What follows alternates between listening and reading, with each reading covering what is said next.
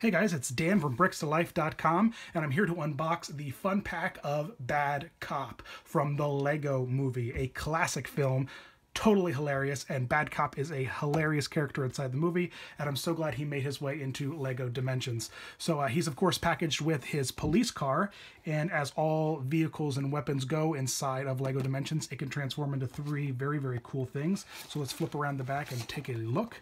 Um, so we've got the police car, and then it changes into the aerial squad car, which then can change into the missile striker. So um, there you go. There is the bad cop.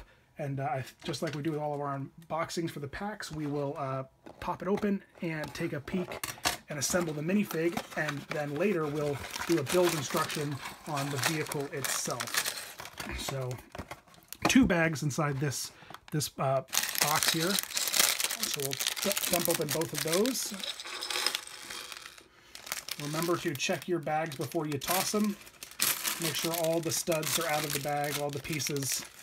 Some of those little studs can uh, be a pain sometimes. All right. Or they can be those rubbery finishes and get stuck.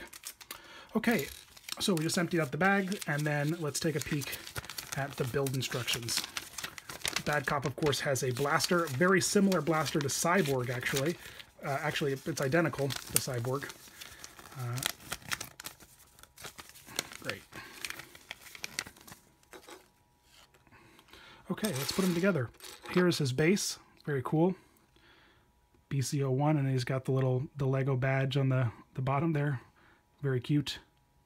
I dig it. All right, so we got the base. We put on the legs.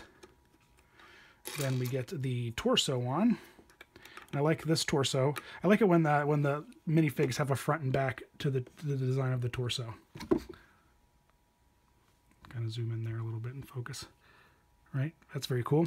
All right, then he's got his head, and of course, Bad Cop uh, is known for having his bad cop face, and then also his good cop face. And I'm in a good cop mood, so I'm to give him his good cop face. And uh, then his helmet, grab that and click it on there. So I've just actually made good cop. Now uh, for the uh, the weapon, and so for his blaster, you're gonna need. Ooh, let's focus that up. You're gonna need this little piece here. You're gonna need one of the red studs, and then there's a little, um, looks like an arrow almost. This piece here, right? So you take that piece with the um, with the pointy side in, facing uh, towards the handle, and you click it in like that and then you attach the red stud like that, and then you can give this blaster to your Bad Cop minifig. And so there it is. There is Bad Cop, or in my case, Good Cop. Uh, as always, guys, thanks for watching and visit us at brickstolife.com. Please subscribe and check back, and we'll do a build uh, assembly instructions on uh, the police car and then the other three phases uh, we'll get there shortly. So subscribe, follow us, Bricks to Life on Twitter and on Facebook, um, YouTube, all that kind of stuff. You're the best.